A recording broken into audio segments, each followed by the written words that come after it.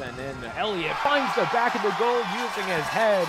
Well done. Nine minutes in. Charlie Elliott with the lead for Lions Bridge. A little bit of a dance as well as he makes his way over in celebration.